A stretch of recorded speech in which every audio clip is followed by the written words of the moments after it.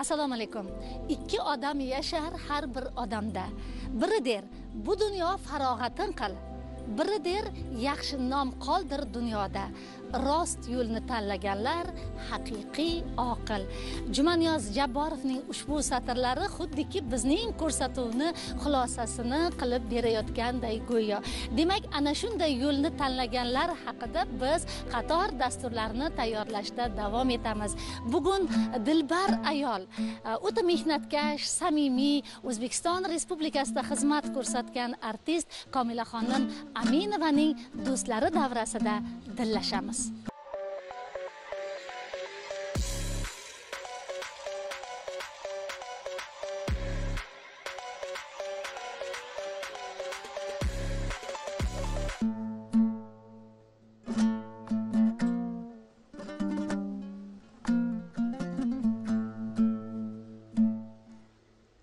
Yor bilib shaydoligimni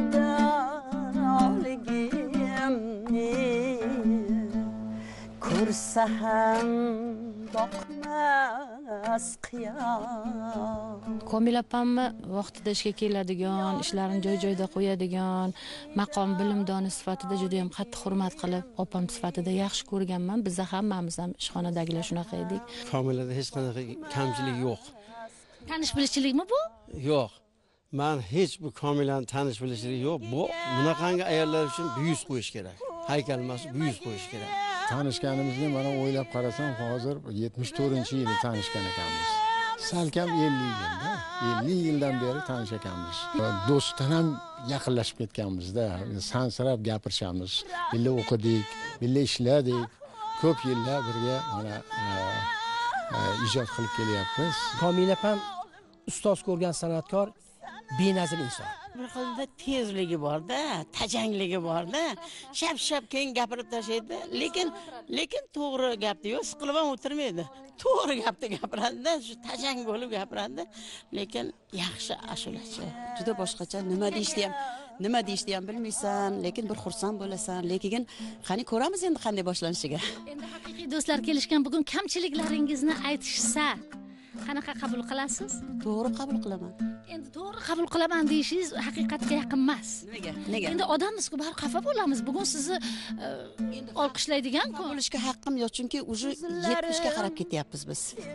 Yetmishga qarab ketyapmiz. Endi e, kamchiligimizni aytsa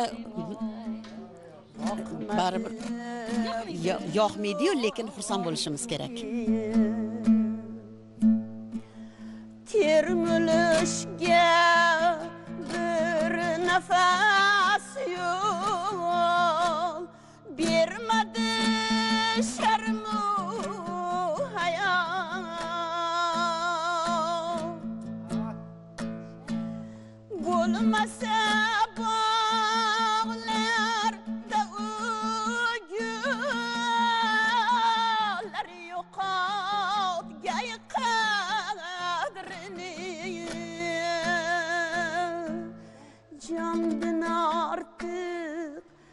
yok azizim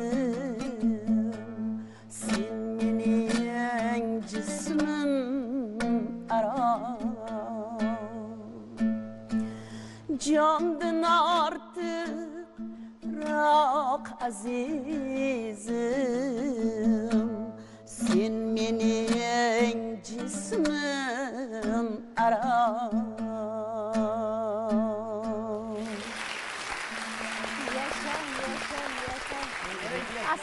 alaykum. Assalomu alaykum. Endigina bizni tomosha qilishni boshlagan muxlislarimiz. O'ylaymizki siz ham ekran qarshisida o'tirib o'sha bolalik damlaringizni esladingiz. Chunki bu xonishlarda e, insonni tinchlantiruvchi xotirjam qilguvchi va yana hayot haqida o'ylaguvchi bir fikrlar mujassam. Shunchaki tinglolmaysiz.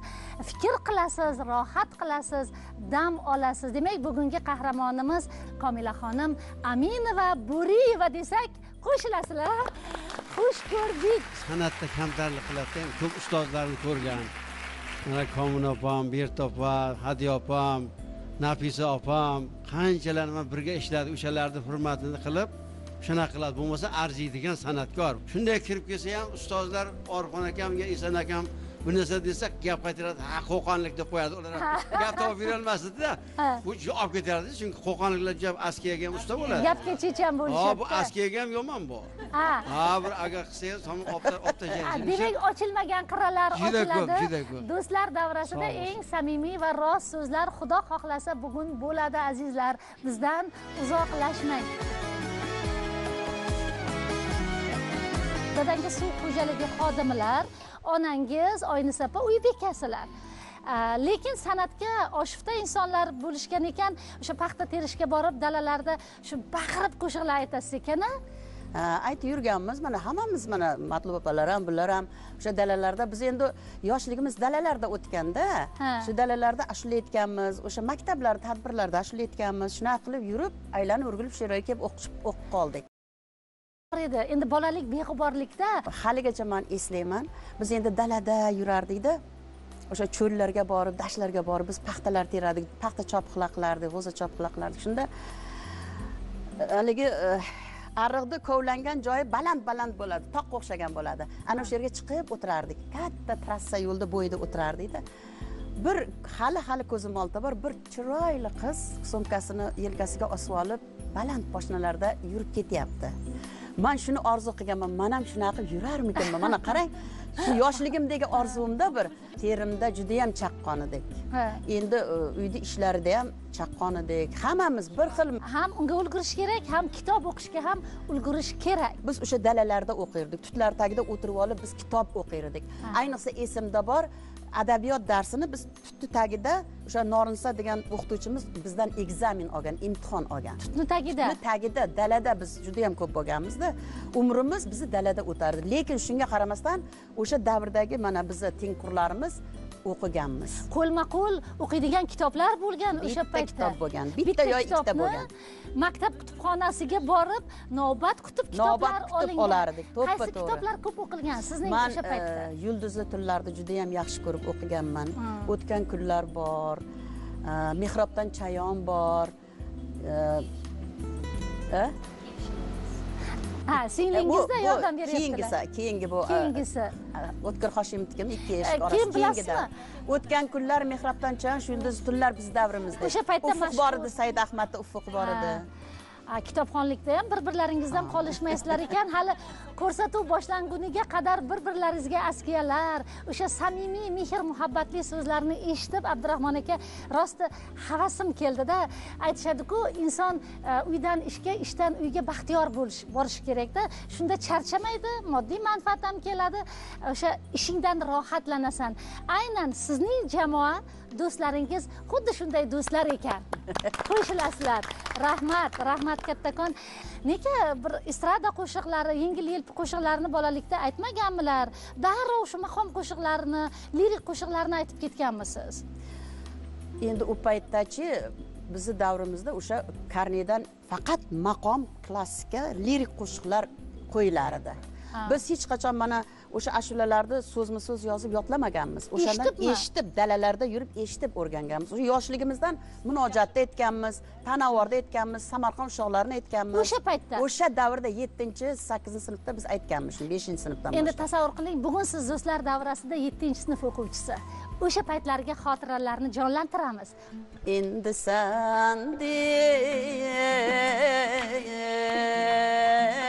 sandek Ay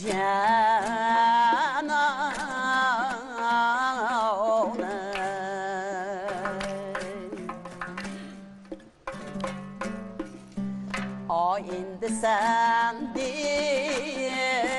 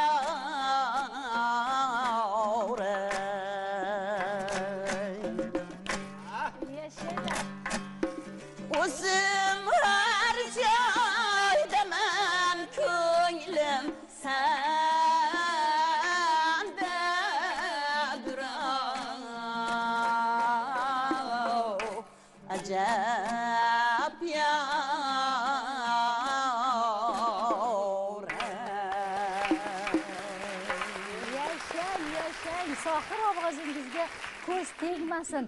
Yana zikr etamiz ayni daqiqalardan boshlab bizni ko'rsatuvimizni tomosha qilayotgan muxlislarimiz uchun komila xonim aminova bo'riyevani ozgina tanishtiruv qilamiz. Lavhamiz bor maxsus tomosha qilamiz. So'ng suhbatimizni davom ettiramiz.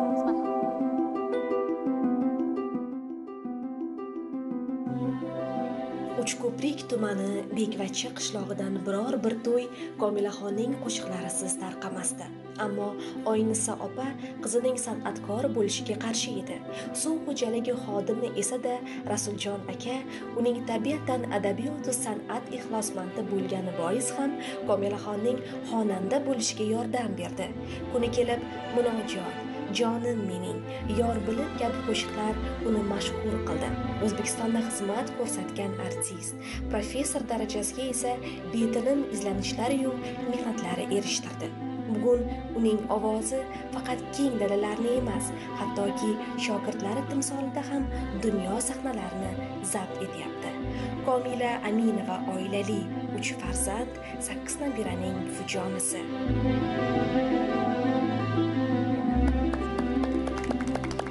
nabiralaringiz bir biridan chiroyli ko'zmunchoqday E, dadangiz sizga yo'lboshchilik qilmaganlarida rafiq aka shu bolani ovozi uvol bo'lmasin deb. Rasuljon rasul yo'q dadangiz emas ustozingiz. Ha rafiq aka. Rafiq aka ustozingiz shu bolani ovozi uvol bo'lmasin deb ota onangizga aytmaganlarida bekvachchada qolib to'ylarda yurardingizda to'g'rimi? To'ylarda yurmasam dalada yurardim. Mani dadam aytganlarida agar borib o'qimasang shular bir narsani bilmasa aytmayapti. Mana opang o'qish kirolmayapti.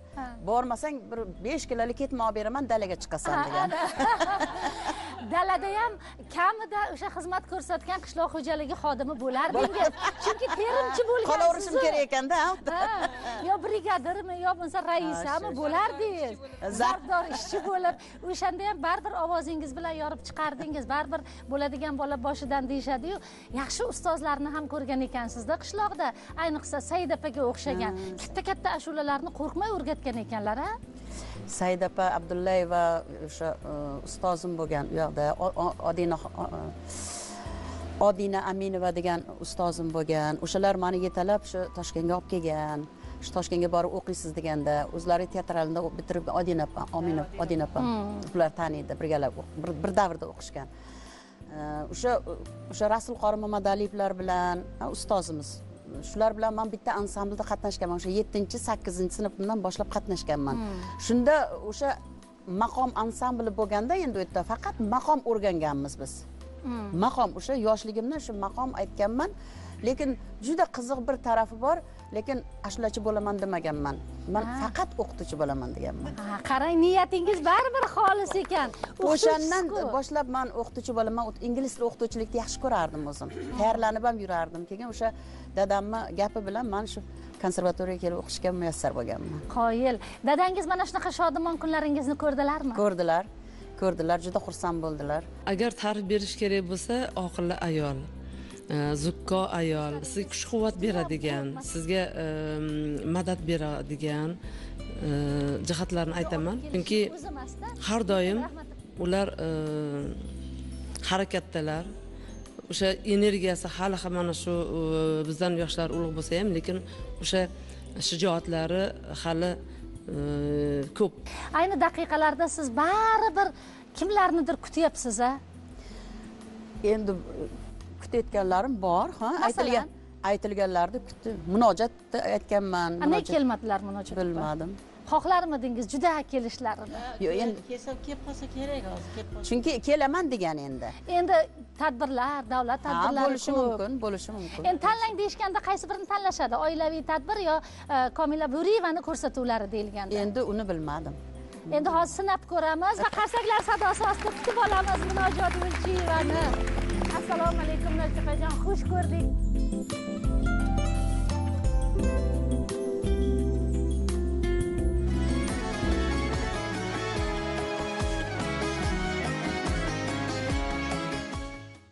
bizni ustozlarimiz bir va e, shu ustozlarimizdan tashqari meni ham birinchi ustozlarim komil opam bo'ladilar komil opam u paytlarda uchinchi kursda adashmasam yo to'rtinchi kursda o'qirdilar. E, domlam bularga e, mana shu qizni e, dars berib o'rgatib turasiz deb e, bularga bog'lab qo'yganlar keyin mm, menga birinchi o'rgatgan ashulalari tanovor bo'ladi. Ha ana. Mana shu havas orqasidan mana birga hozir birgalikda ishlab yuribmiz. Rahmat rahmat kattakon rahmat shuncha ish qilib qo'ygansizda yana ko'rsatuvga asosiy qahramon desak o'ylanib qoldingiz. Xalq artistlari qahramonlar donolar aytishadiki hayotingga kelib ketguvchi insonlardan xafa bo'lma. Aslida seni kuchli qiladigan ana o'sha insonlardir. Agarki ular bo'lmaganida balki komila xonim aminova shu darajaga erishmagan bo'lardilar. To'g'ri. ichingizda hali ko'rsatib qo'yaman. Deymiz hammamiz malika opajon u deymiz. hammada bo'ladi hammada bo'ladi. U narsani aytib o'tish kerakki bu komilaxonni ichida turmaydi. Gapiradigan gapni shatta shatta gapirib tashlayveradi to'g'ri gapni endi albatta nozmaxon man hozir mana yettinchi sinf sakkizinchi sinf dedingiz ana shu davrlarda biz farg'ona musiqa bilim yurtida o'qib yurganimizda ablahat man mana komil opamlar e, Malik. nima, malik opamlar birga o'qib yurganimiz davrimizda muzikantlari yo'q ekan biz chop beradigan bo'lganmiz. Birinchi marta farg'onani bog'ida. Bu farg'onani bog'ida o'sha yoshlarda bir ijod e, birinchi chalib berishgan Ha, chalib shunda berishgan shunda o'sha e, siz aytdingiz e, qaysi ashulalarni bilardim. Hozirgida esimda bor. Haligi bir e, na na na na na na na o'lkam degan ashula bor oxunovani ha habiba oxunova aytaylik endi Ha, matnlar o'shani ayting-da. ketdik hamma aytgan bu narsani bitta bitta naqoratini aytsangiz olam aro. Olam Olam aro. ketdik do'ni ber do do pam pam pam olam aro olam yurtlarning eng a'losi. Ona yurtim husningni men shaydosi. Baxtiyorman muhabbatim qozon samo shudur baxtim shudur qalbim.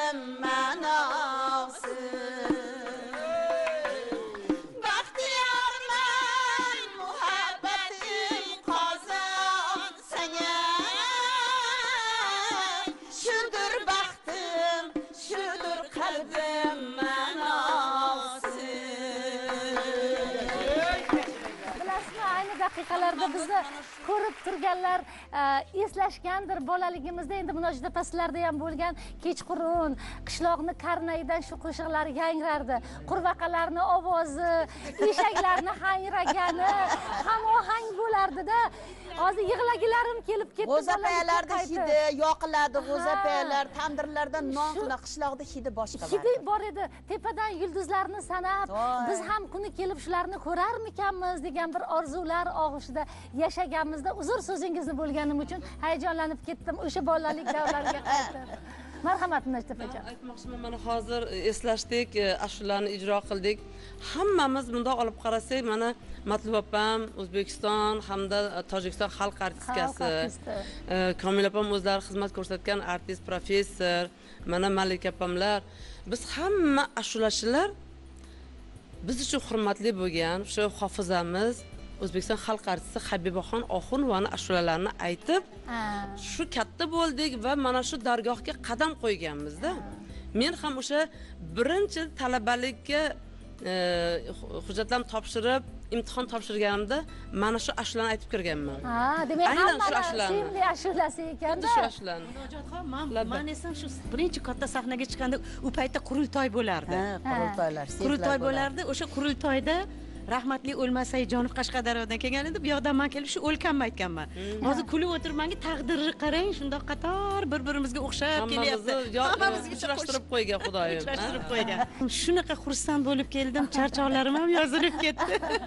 Komil aytdi kelmasangiz kuningizni ko'rsataman bir rubl deganlar lekin sotib qo'ying shu bo'lgan uyda mehmonlar endi qo'yaverasiz mayli. Olloh nasib qilgan ekan qizim ham aytdiki oyijon eng yaxshi qadrdonlaringizdan shu malika opam bilan komila opamni biz ham bilamiz. Hattoki oilaviy xolajon deyishadi bularni erkalashib. Bormasangiz bo'lmaydi deb bittasi sochimni qildi bittasi ish qilib mana shunaqa qilib mani tayyor qilib mani yuborishdi tayyor qilib shundoq yandeksga jo'natib yuborishdi. Reklama qilib qo'ydik. Shu bilan man nima demoqchiman juda yam xursand bo'ldim. Mana shu bir kuni abdurahmon orqamdan chopib kelyaptida opa siz bilan so'rash uchun yugurib chiqyapmanku qayerga ketyapsiz? deb. Shu daraja qadrdon bo'lib ketgan ekanmiz a opa haqiqatdayam dedim. Shu abdurahmonni gapi bilan shunaqa bir qanaqadir odam orqaga qaytib yoshligingizni eslab mana komila. Komilaga endi shu bugun komila bizni anaqamiz qahramonimiz. Komila avvalambor mana malika uchalamiz abdurahmon. Mana shular man birinchi farzandimni ko'rganda orqamdan bitta to'rt bilan gul ko'tarib mani ko'rishga borishganda mani u qalbimni to'rida yozilib qolgan gaplar bo'ladiyu insonda. Sekin sekin hayotingiz umringiz o'tgan sarin yig'ilib borar ekan shunaqa noyob gaplar noyob Xazina gaplar. xazina gaplar. Oltin anaqaga aylanib qolar ekanda ana shular hech qachon ko'zimni o'ngidan ketmaydi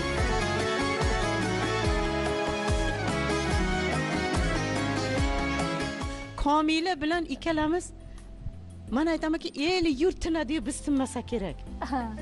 Hech tinmaymiz. O'sha uchun kelinlarda aydasizlar hamisha. Ha, maqomda ham ishlaymiz indusga borib dars ham beramiz ish qilib.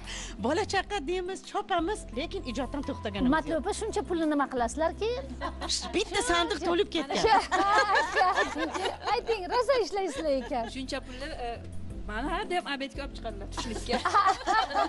Aytadilar bugun pensiya olganman sanchi sol sol pulingni deydilar. Ertasi kuni ham yana shunaqa yana olib beradilar baraka yana san bularda. Hali yoshsan deydilar. Pullarni menga ishlatadi nima uchun bu savolni berdim? Hech bir pulga talashganlarini yo pul uchun bir e, maqomchilar ichida mana shu retro san'atkorlar ichida eshitmadikda. Chunki bizlar mard ustozlar bilan birga ishlaganmiz hech ular bir narsaga past ketmagan.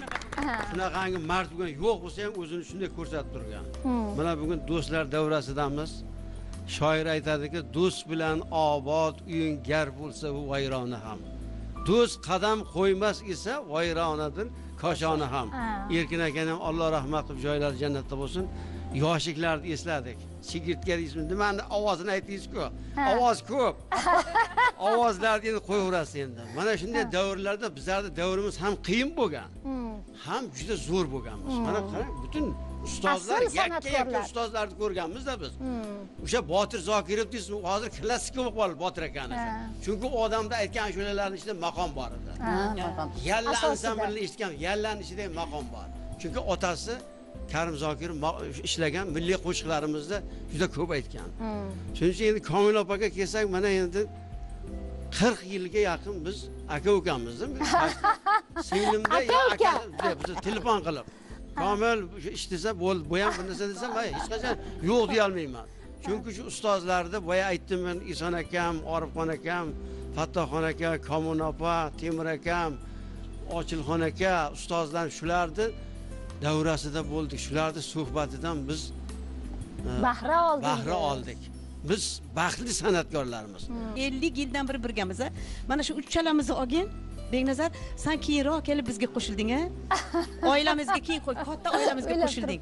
mana shu malikani shu fursatdan foydalanib bitta narsa aytaman. Shunaqayam do'st haqiqiy do'st oxirigacha bo'lsin iloyim komila mana endi shu yerda kamchilik ota onamizdan yiroqda yuramiz. Bola chaqalarimiz kasal bo'ladi. Qanaqadir joylar topishga qiynalganmiz nozimaxon mana shu malika eshigini ochib komilaga eshigini ochib bergan. Man ko'rganman ko'zim bilan. Malika bolamni mazasi yo'q desa tez tez mani oldimga kelgin. Yon uyga borgin nur akangga borib uchragin. Doriga puling bormi? Hamma hammasini qilgan mana shu yig'lab chopib yurganlarini man ko'rganman. Dargohi keng buni dargohi keng demoqchimanki mana hozirgacha. Do'st bo'lsang mana shunaqa bo'lishi kerak deb o'ylayman xayriyat manga ham navbat berar ekansizlar ishlaring to'lib ketgan ekan. Bu buni gapida ham jon bor uni ham gapida jon bor. bor. Man boshidan bir e, nima qilsam juda ko'p nimaga kirgizib qo'ydi bu oqqo'rg'ondan qatnagan bu. O'n besh yil oqqo'rg'ondan qatnagan maqomga soat beshda turib o'sha yerda qaynalarini hammasini tinchitib kelib ishlardida keyin bolasi mazasi bo'lmasa oqqo'rg'onda aytardi olib ketardim haqiqatdan esimga tushirdi. Endi e, fidoyilik shuncha bo'ladi maqomga. Endi yana bitta narsani aytaman.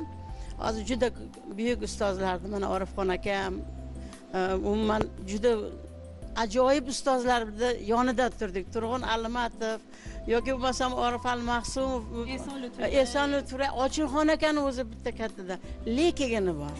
Bizda ana shu o'qishga kelganimizda biz buyuk ustoz faxriddin sodiqovda man sozda o'qigan bo'lsam ashulada komila o'qigan.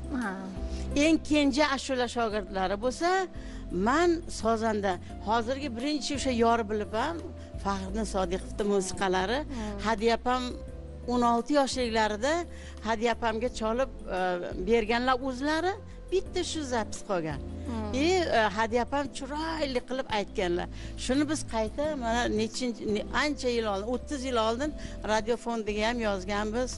Bu bilan misol uchun bunda bir ovozda o'zbekona o'sha maqomona ovoz bor mana misol uchun mana bu aytyapti maqomchilar hammasi ashula aytayotganda shu ustini shunday yopadigan bir chiroyli hammasini ovozi go'zal hammasini man aynan sozanda bo'lib o'zim muxlisman buni ham o'zim cholib berganman haqiqatdan. Hamma buni o'ziga o'n oltita narsani yakka dutorda biz e, radio fondiga yozganmiz. Tanish bilishmi bu yo bo'lmasa ovozlari shuncha zo'rmi? Biz birga ishlaganmiz shu nima qilardikda lekin bu e, mana matluba ham bilan kamtar o'sha o'zini bir reklama qilishni bilmaydi. Agar bir haligi o'sha cholgan narsalarimizni aytgan narsalarni hozir odamlar ikkita ashula aytadida oyog'ini chalishtirib chiqib olib palonchi pismadonchi deydi a bu shu aytaman shuni olib chiqqin shu narsalarni nima qilgin? O'sha zapislarimizdan hozir yoshlar o'rganib qancha dutor bilan aytishyapti. Uchko'prikka bordim. Shunaqa bir oddiy oilalarki bir soddaki mani ko'rib anaqa shpilkalar kiyib yuborgan ekan. Man juda yosh bo'lganman mani qo'shnilar ko'rib здравствуйте здравствуйте deyishgan. Hech esimdan chiqmaydi. Shunaqa sodda insonlar bo'lganda o'shaning uchun ilohim sog' bo'lgin mana shu soddaliging o'zingga yarashadi. Bu bechora bechora demayman xalq hofizimiz maqomni eshigini tagida besh olti yil yurgan maqomga kirolmasdan shu orifxon akamni oldiga kelib orifxon akam tashqarida o'rgatardi. Oila tashqarida. Tashqarida bitta burchakda aytardi. Kirolmasdi ichkariga. kirardik man abduhoshim e, malikani ber ahmadjonni ber rahmatullohni ber rahmatulloh chiqsinlar. Ana shu tashqarida biz repetitsiya qilardik. Mana shunaqa qilib repetitsiya qilib keyin maqomga kirib mana xalq darajasiga yetib yana deng bilasizmi orifxon akadek insonni shu haqiqiy shogirdi bo'ldi. Qaysi ma'noda? Mana shu yerda o'tirganlar hammasi fidoyi shogirdlar orifxon akam haqiqiy shogirdi. Misol uchun mana shavkat mirzayev ustozimiz yoki bo'lmasam faxriddin sodiqovni o'sha maktabini olgan. Orifxon akamni maktabini bular mirzayevni nima rahmatilla akam faxriddin sodiqovni ansamblda e, cholganmiz bir dadaxo'ja aka dadaxo'ja akasi bitta hozir bitta doirada bitta samadov eng o'sha maqomdonlarni kattasi ha abduramonchi abdurahmon ham o'sha misol uchun e, bizni ustozimiz faxriddin sodiqovni yetuk shogirdlaridan ellik yildan beri tanish ekansiz oxirgi marta qachon ko'rishdingiz ular bilan? O'tgan yili. Komila bilan birinchi tanishgan paytimiz ko'zimdan ketmaydi yotoqxonani tashqarisida skameykagacha bo'lardi. Shu yerda o'tirsam shu bitta qiz keldi yonimga o'tirdi. E, ozgina tanishgan bo'ldikda e, shu o'qishga kirmoqchiman shu yerga dedi. Opam olib keldi o'qishga dedi. Keyin men maqomda o'qiyman dedi. Maqomga kirasizmi desam "Ha, b- menga ham shunaqa deyishdi dedi. Kim maqomni zo'r aytardi albatta komila maqomda ikkitagina qiz o'qigan ekansizlar a? siz bilan zumrad opa nega kam bo'larmidi qizlar?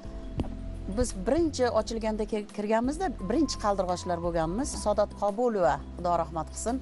Man yo'q maqomda o'qiy olmayman man ruslar ekan degandan keyin mana shu yerda bir qanaqadir nima ochilgan kirchi balkim shu sanga yoqib qolar deb o'sha kirganimda o'sha faxriddin akalar endi savlat to'kib o'tirgan ekan endi o'sha oddiy o'zimizni ansamblda aytib yurganmanda ko'zimga shunaqa chiroyli ko'rinib ketgan shu bilan man maqomda kirib qolganman. O'shanda bitta zumradxon kelgan ekanlar yotoqxonada birga yashaganmizlar birga yashagan birga ham yashaganmiz boshqa ham turganmiz lekin qaysi qo'shiqlarni birga yotoqxonada aytib yurgansizlar? Qaysi qo'shiqlarni aytgan? Biz o'sha go'zal yorimgani birga o'rganganmiz boshlab kimni ovozi? Chapandozi navo kimni ovozi shiraliroq edi? Endi o'sha paytda bo'lganku meni ovozim zo'r yo'q meniki zo'r degan endi talashishlar u paytda maniki zo'r deydida hamma. Komila opa endi bittagina maqomda o'rtog'ingiz bo'lgan lekin o'sha zumradxonni ham ovozi chiroylikkina ovozi bor edi hali nima deydi pardadan qochmaydigan ingichka ovozlar bo'ladiku a ha diapazoni siznikidan ozgina pastroq lekin bo'lgan a sh- yaxshi ovozi bor shirasi Zumradxonni. bo'lgan a Ha, ha. aha demak zumrad opani nega bugun taklif qilmadingiz? Uzoq dedingizmi? Endi uzo- uzoqligi uchun uzoq uydagilaringizni ham taklif qilishni xohlamadingiz. Mana sayyora bor toshkentda yetadi. Hammani ayaysiz ekanda. Sizni kim ayaydi Ha, voqchera ayaydi Voqchera. A, qancha bo'ldi ko'rishmaganingizga ancha yillar bo'ldi. Ancha yillar bo'ldimi ancha yillar bo'ldi bulardan so'rayapman. Birgamizda hammamiz birgamiz. Ancha yil bo'lib Ha, qoldi ko'rmaganimizga. Lekin chunki birga o'qiganmiz mana abdurahmon birga o'qigansizlar. birga lekin o'qiganmiz. Zumrad opa yetib kelganlar. Sizni ko'rish uchun kutib olamiz. Andijondan. Keling zumrad opa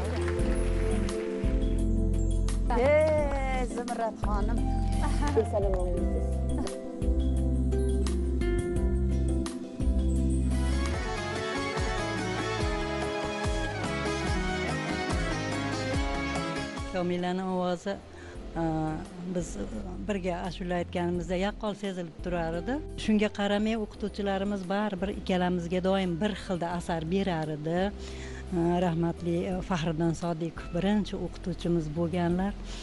Malikaxon komilaxon uchalamiz hali qizlardan uchalamiz bo'lganmizda birinchi boshlaganimizda.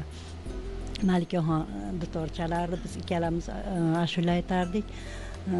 Konservatoriyada dars berishdan tashqari rahmatli domlamiz uyga ham chaqirardi Ha, sizlarni Ha, o'rgatishga. uchalamizga qizlar uyga kelsanglar qolganini o'tamiz derdida uyda dars o'tardik agar eslasanglar uy- uyga borsak bayot birda muhabbat degan o'sha joylar so'zlarni alohida alohida o'rgatganlari hamma vaqt esimda turadi. O'sha paytda yoshi yo- yosh edikda biz.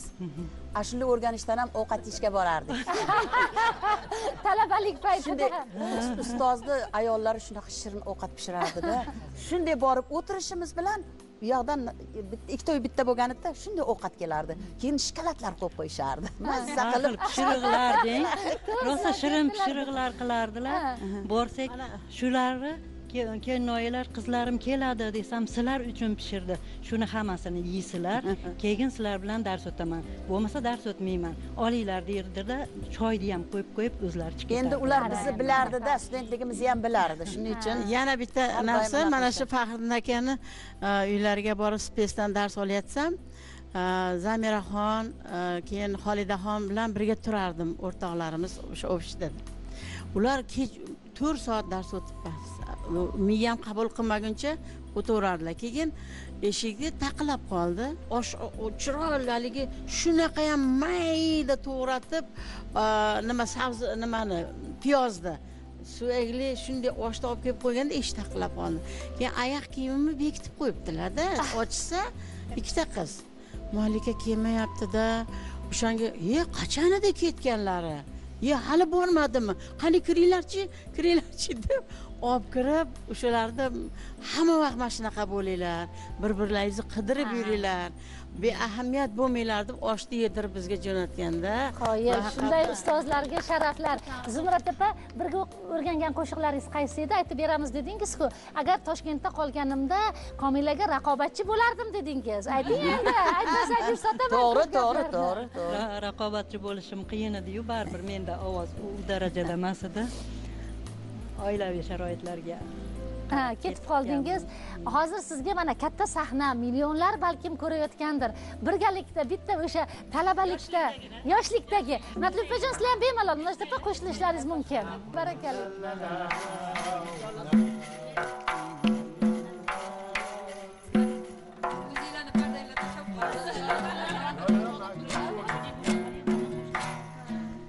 güzel yavrum ve bal sabah tür selamımdır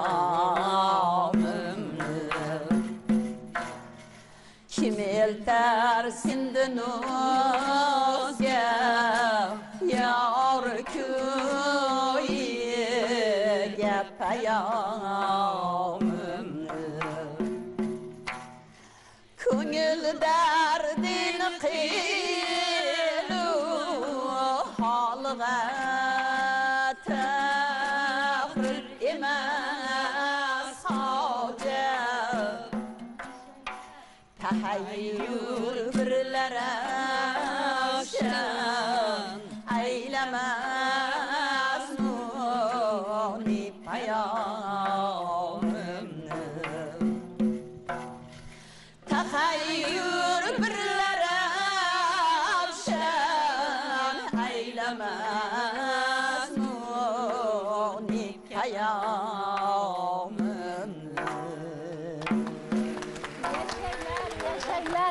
inson kamtarin bo'lishi kerak edi baribir endi manbalik bo'lmaydida oddiy bo'lgani yaxshi. Oddiy ham kamtar benazir inson.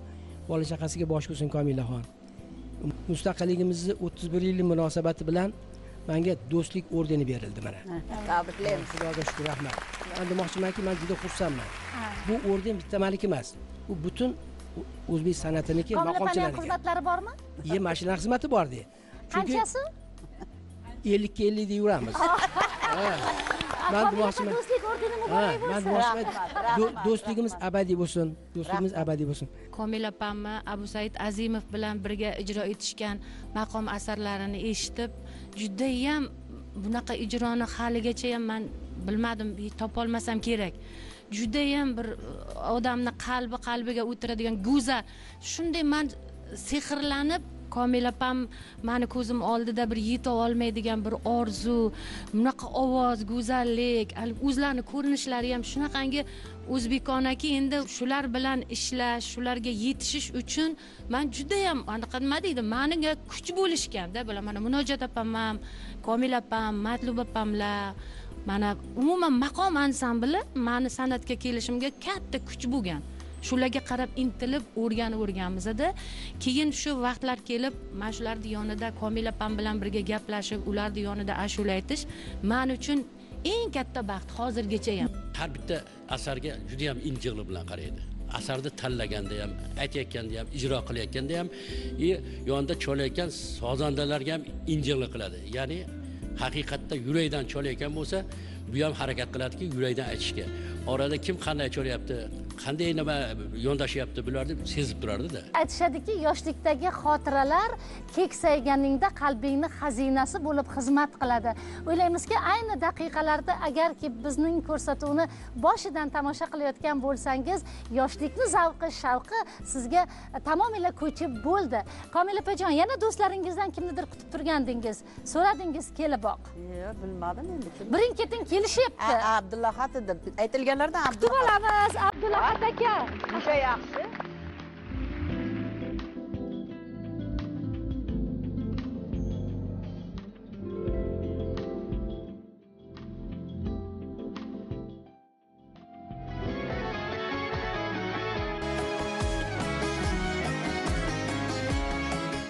komilaxonni ovozini eshitib sehrlanib qolganmiz.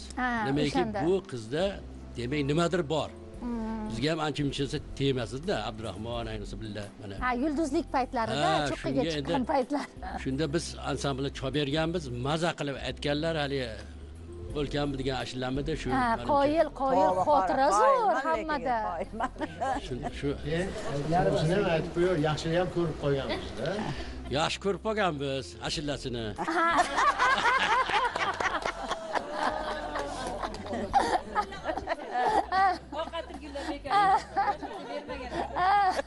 komilaxonni endi qirralari juda ko'p. Bu mardda bu mard. Abdurahmon aka o'zingiz ham aytaylik Yo'q, endi- yaxshi. endi hali biz biz biz yoshligimizdan bir birimizga haqiqiy do'st bo'lib kelganmizda bir birimizdan narsani ayamaganmiz. Man bulardan hech narsani ayamaganman. Burga aytdim yuringlar man sizga bitta beraman. Deb Ha, So'ng hamma- bular hayron. Pastga tushib lag'mon olib berdim. Maza qilib yeyishdi achchiqlari bilan voy voy uksuslarni o'zim solib beradi yushlari bilan nonni ham o'zim oldim. Ularga oldirmadim. Xullas bular ham chiqib kelib manga endi shu savolni beradi menda. Nechi pul ishlatding? Bo'ldi yaxshi qilmanlang dedim endi bu savol yaxshi ichimda aytyapman keyin shuncha odam yig'ilib turgan bo'lsa bularni oldida man qaysi vijdonim bilan ikkalangizga ikki so'mdan to'rt so'mga lag'mon olib berdim deb aytaman. Endi o'sha to'xtang endi o'sha lag'mongacha ikki oy uch oy biz olib berib yurganmiz. Bitta lag'mon olib berib o'shani ham hammani oldida gapirgan. Olib berganiki ikkalasi bir porsiyada ikkita oladida ikkalasi yarimda yarim manga qilib berishadi. Endi vaziyatdan kelib chiqilganda talabachilik talabachilik endi davri. shunaqa xurmoni ham aytib bering endi. Yo'q yo'q xurmoni aytib bering yaxshi o'sha mana. Rosa komila bilan malikani bo'lgan nimalaridan Voqealar. E, endi u paytda haqiqatdan zo'r bo'lganda endi gapirish kerakda endi o'shani. Aytavering mumkin haligi biz ikkalamiz ketay tursak bu kelayotgan ekan. Keyin aytdiki qayerga ketyapsizlar bozorga ketyapmiz desak mana shu pulni yetmish ming edi unda yetmish ming pul hali kupon paytimidi nima edi Kup- kupon.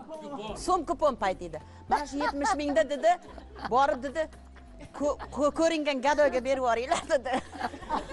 Dedi endi biz studentmiz endi o'zimizcha ketyapmiz lekin borib biz qaysi gadoydan kammiz dedi. Borib borib bozorga xurmo oldik. Endi xurmo o'sha paytda yangi chiqqan edi shunaqa ezilgan shunaqa shirin xurmolar. Ikkalamiz yedik yedik bir payt. Qayerga kirdik? Mikrofonga yo'q haligi xurmoni yediku shu nasha qilyapti kulyapmiz tiqiliblar qoldikda qolgan pulni bilmayman nechi pul qoldi berdik gadoga. Gadoga berdik lekin ikkalamiz e, kafedra bordi kafedraga borib ham o'zimiz so'qitolmaymizda uni abduramonga aytolmaymiz keyin yuribmiz yurib oxiri bari yorildim. Abdurahmon bir ish qildik endi rozi bo'lasan. Shuncha pulini berdiku shunchasini ishlab halollabsizlarda o'sha uchun ham yoshsizlar go'zalsizlar aytishadiki insonni vaqt qaritmaydi. Muhabbatsiz kunlar e'tiborsiz kunlar va yana albatta tabassumsiz kunlar qaritadi. Do'stlar davrasini tomosha qilsangiz albatta ilhom manbaidan bahramand bo'lasiz. Komila qizim yoshligidan ishchan juda epchil qiz bo'lgan o'qishda ham yaxshi bo'lgan. Shu o'qituvchilari opalari olib borib konservatoriyaga topshirgan. Men yo'q deb turib olgandim qizimni xo'jayini bilan o'qituvchi edi.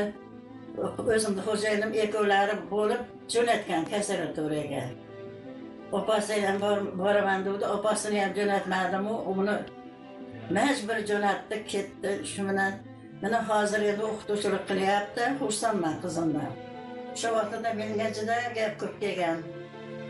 Qizini o'qishga berdi deb. Bundan yaxshi xursand qilib yurdi bolam. Menga ancha foydasi tegdi. Havarab turadi har oyda. Bola chaqasi bor. O'sha vaqtda bir bo'lgan ekanmi? Hamma men uyat qilgan nimaga qizimni o'qishga jo'natding deb.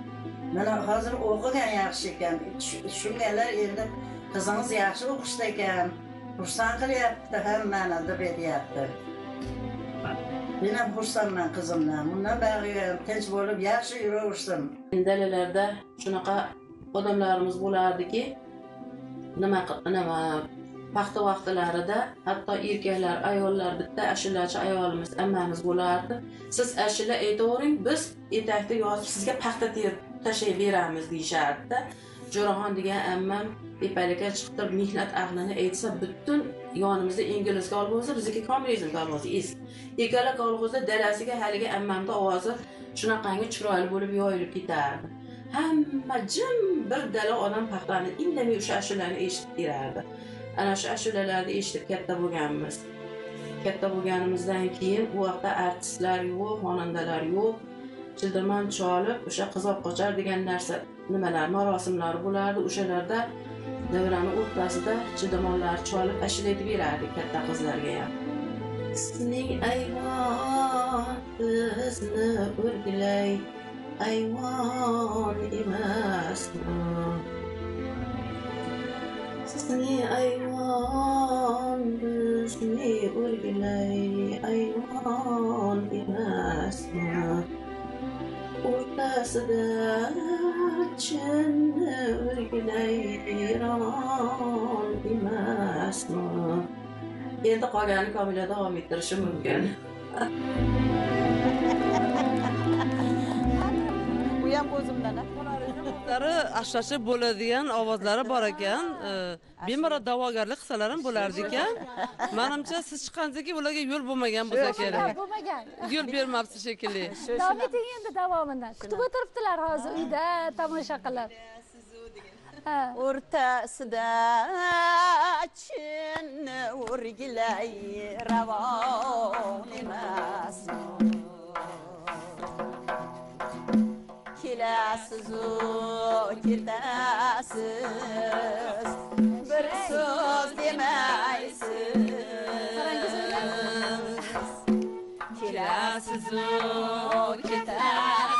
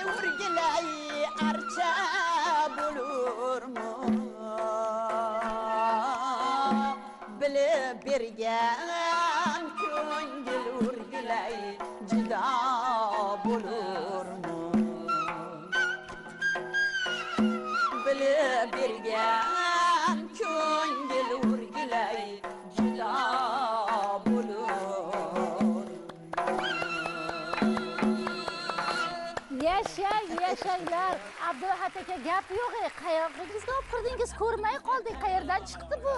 Mashq qilaman mashq qilaman. Qani nayin desamda chiqarib turaman darrov? Qoyil qoyil man sizni ko'rsatuvingizga bitta narsasiga qoyil qolamanki juda ham chiroyli. Haq hamma e, ijrolar jonli. Ashula ham musiqa ham jonli bo'ladi. Odamlar ham jonli bizda. Odamlar ham jonli.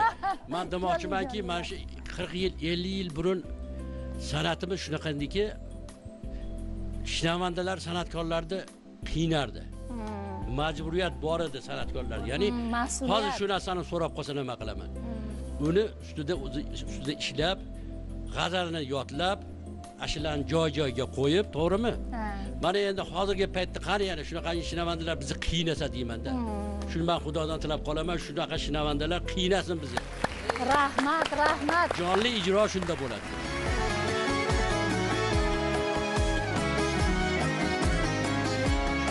singillari sayyoraxon hozir onangizni ko'rib o'zingiz ham boshqacha bo'lib ketdingiz. Endi komila opani jiyanlarisiz?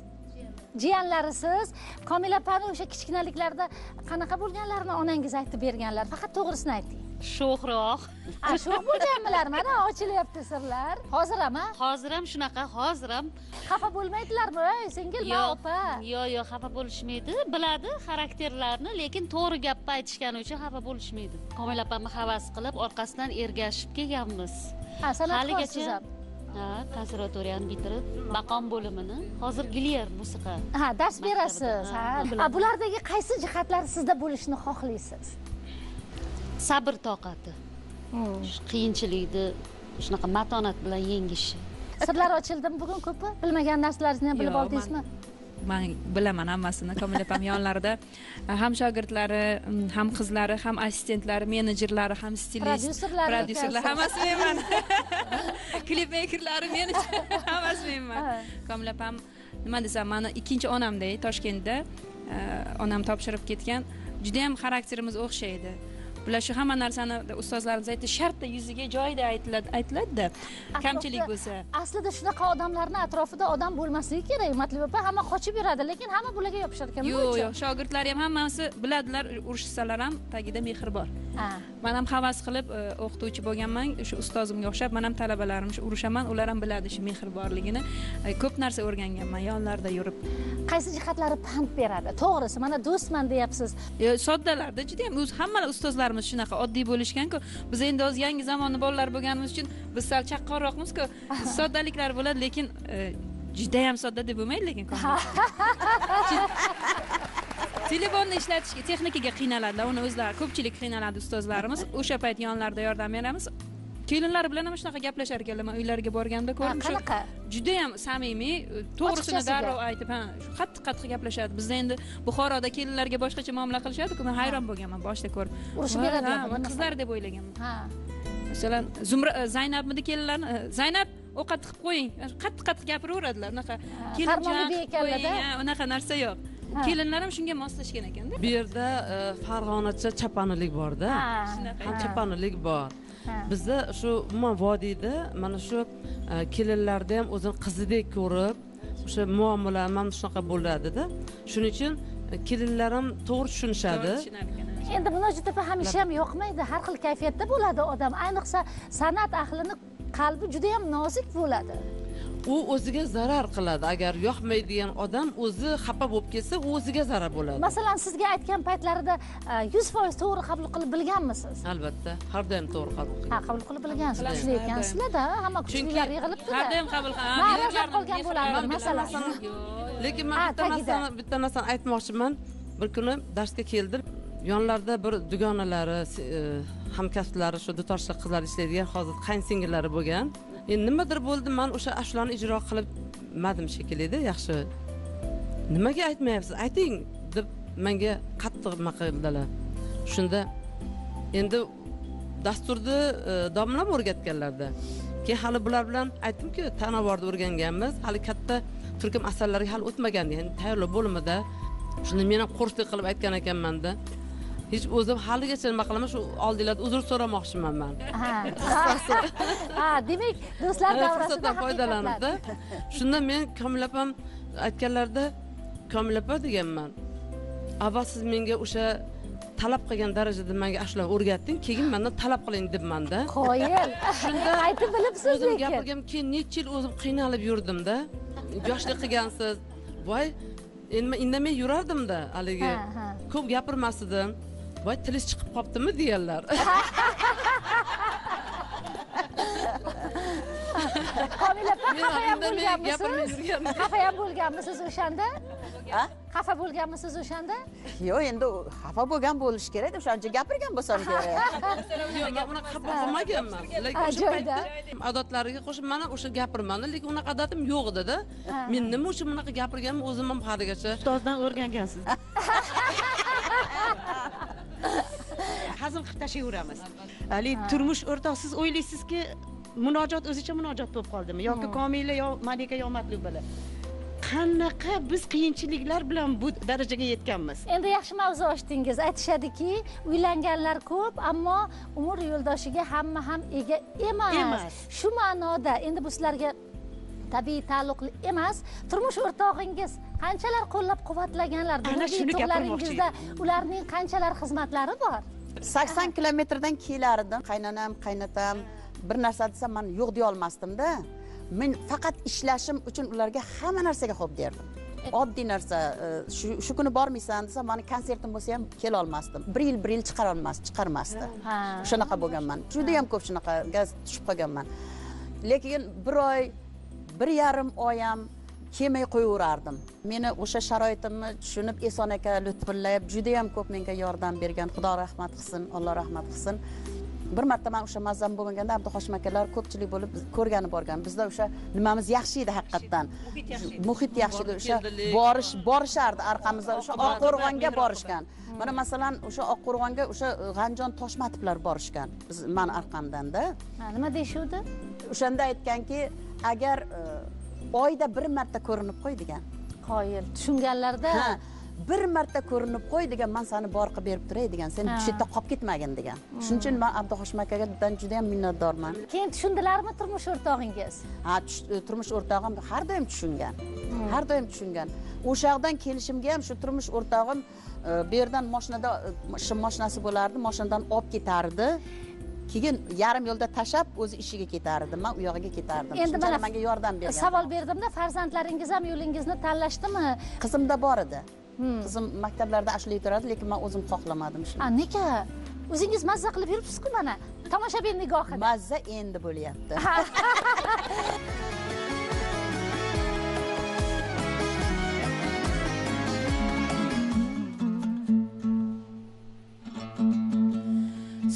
Sormadın aftada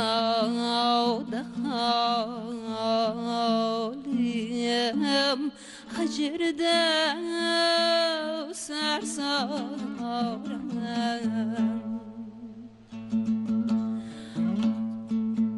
bir marta aytmoqchi edim bular bir kuflet aytyapti ha bir kuflet Ha, o'sha uchun bo'ldi. tez tez aytaylik Boshla. chetdagi Kesmaylik افتاد حالیم حجر دو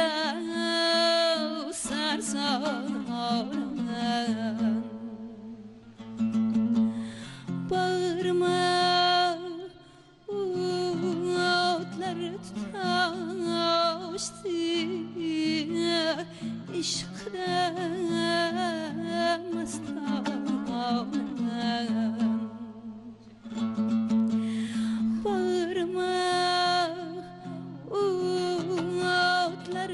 taştı hacirden mestanem Hak sar bu kast canim bir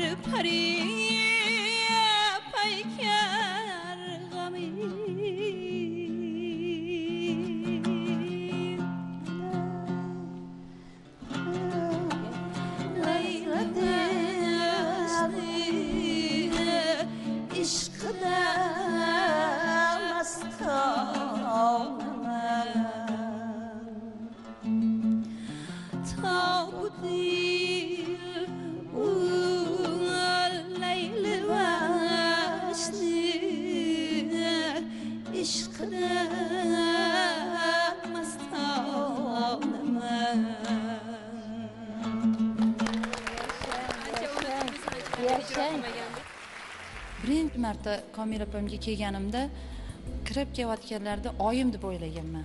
Chunki oyimga shunchalik o'xshaydilar o'zim oyim ham ko'rganlarida o'zlari hayron qolganlarda keyin hayron bo'lganmanda san mandasan desalar keyin man aytganman tavba nega bunaqa taqdir bu o'yinimi? Ha tavba xuddi oyimga o'xshar ekansiz rasmlarini ko'rsatsam ular ham hayron qolganlarda o'sha uchun man bilmayman ona boladek bo'lib ketganmiz da haqiqatda komil opa shogirdlaringiz juda ko'p ekan. Ularni hammasini taklif qilishga bizni imkoniyatimiz yo'q lekin oxirgi syurpriz sifatida yana qabul qilasiz.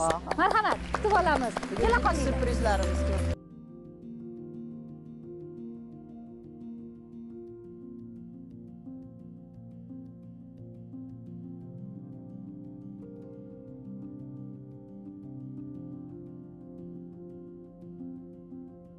komila opamdan biz nafaqat xonandalik balki samimiylikni insoniylikni mehribon ona mehribon ayol umuman olganda insonparvarlikni o'rgandik. Kamtarinlikni o'rganganmiz komil opamda bizga. rahmat.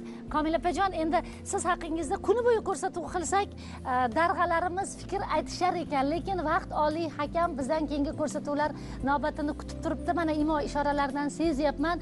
Do'stlar davrasi bugun sizni biroz bo'lsa ham yanada yoshartirdimi? Voy judayam yosharib ketdik. Hammamiz birgalikda yoshardik. Juda xursand bo'ldim. Rahmat katta. Taklif qilganingiz uchun rahmat. Haqiqiy do'st akamizmi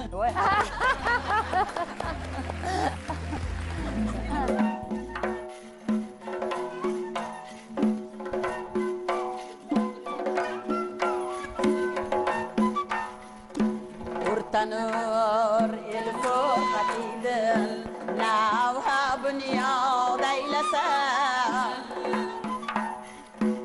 وصغلوب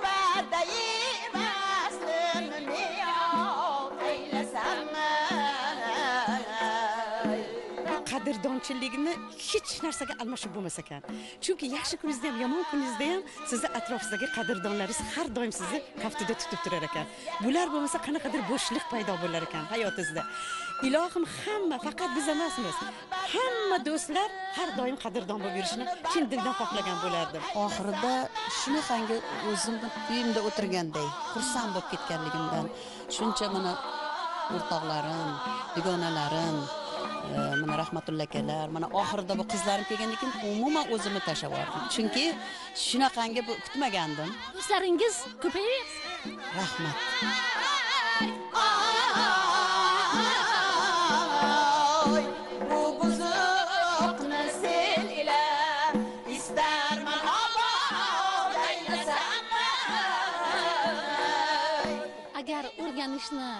istamasang hayot senga hech narsani o'rgatmaydi deb yozgan edi donishmandlardan biri. Chindan-da qanday yosh qanday mansabda bo'lmaylik o'rganish istagigina bizni maqsadlarga tomon yetaklaydi. Do'stlar davrasi esa ayni ana o'shanday ilhom manbai desak xato qilmagan bo'lamiz.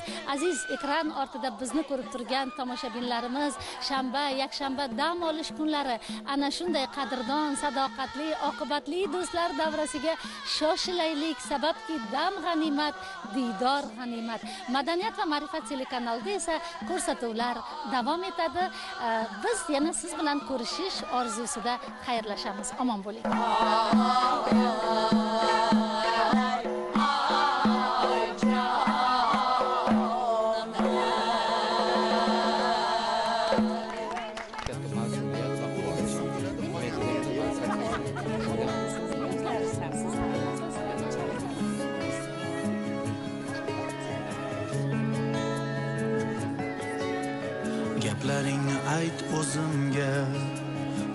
Yuzlarimga qara ey do'st.